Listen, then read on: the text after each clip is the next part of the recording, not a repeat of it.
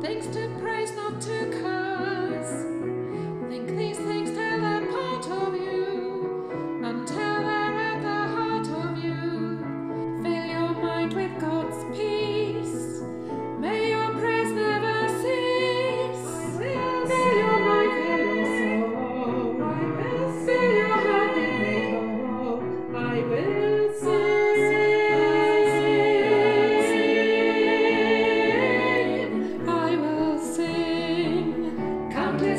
blessings are poured on me.